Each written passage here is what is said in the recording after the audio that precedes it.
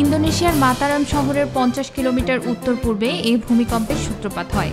এ ঘটনায় হতাহত হয়েছে অনেক মানুষ।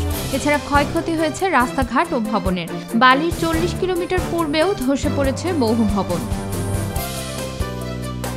এ ঘটনার পরপরই আতঙ্ক ছড়িয়ে পড়ে পর্যটকদের মধ্যে। স্থানীয় বাসিন্দারা জানায়, ভূমিকম্প শুরুর পর তারা বাড়ির সবাই আতঙ্কিত হয়ে রাস্তায় নেমে আসে। এই ভূমিকম্পের ঘটনায় হতাহত হয়েছে এক মালয়েশিয়ান পর্যটক সহ অনেক মানুষ। পরে আহতদের চিকিৎসার জন্য স্থানীয় একটি হাসপাতালে নেওয়া হয়েছে। ইন্দোনেশিয়ার দুর্যোগ ব্যবস্থাপনা সংস্থার মুখপাত্র এক টুইট বার্তায় জানায়, এরই মধ্যে ঝুঁকিপূর্ণ স্থাপনাগুলো থেকে বাসিন্দাদের সরিয়ে নেওয়া হয়েছে।